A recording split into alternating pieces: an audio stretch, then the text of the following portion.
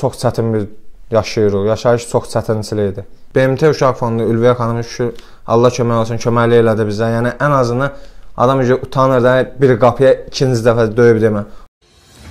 Kanalımıza müraciət edən Şirvan şəhər sakini Baxşiyev etibar bildirir ki, pandemiya düşəndən vəziyyətləri çox ağır vəziyyətdədir.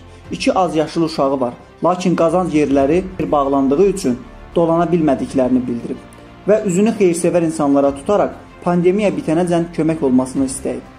Biz də ümid edirik ki, xeyrsevər insanlar gənc ailəyə öz yardım əlini uzadacaq. Axı bizlər müharibədən qalib çıxmış bir xalqın nümayəndələriyik. Mən Şirvan sakini Baxşev Etibar bala qardaş oğlu. Yəni bugünkü günə pandemiya dövrünə əlaqədar olaraq yəni çox çətin bir yaşayırıq. Yaşayış çox çətinçilikdir. Yəni mən fikir satır, hamı fikri satır ki, hamı bugünkü günə eyni vəziyyətdir. Ücə axırıncı pik nöqtədir ki, ücə mən bu cürünə çıxış edirəm.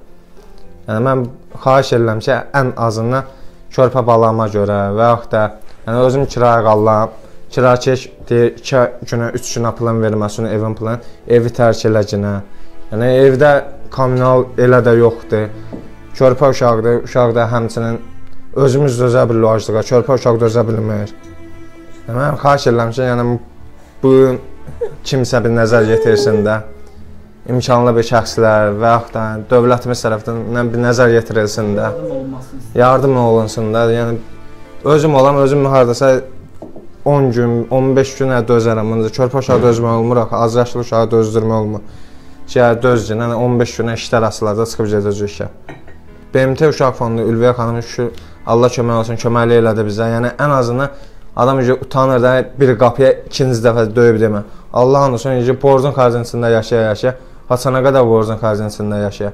Yəni bugünkü günün nöqtə də yoxdur ki, gedib ora döyəsən ki, qapıyı, həmə borc verirsən. Ki, adam da üzü gəlmir. So, olan da vermir ki, işlər uzanır, işlər getdikcə uzanır. Nə işlə məşğul olursunuz?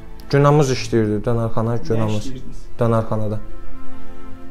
Hal-hazırda heç yerdən gəliriniz yoxdur. Heç yerdən gəlir yoxdur. Yəni qurban Allah, valideynlər elə uşaq vaxtından rəhmətə gedib. Yəni özüm də ailəliyəm, ölənlərdən rəhmət. Yəni evdəkilərin də bir dənə anası var. O da elə şəkər xəstəliyi zadı. 2 uşaqdır məndə. Bir uşağı vermişəm baxırlar.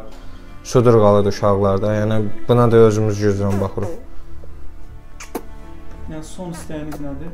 Hə, ən azından ən azından yəni hamı nəzərə alsın ki, yəni demirəm mən ev istəyirəm, o bəziləri ki, maşın istəyirəm, o demirəm.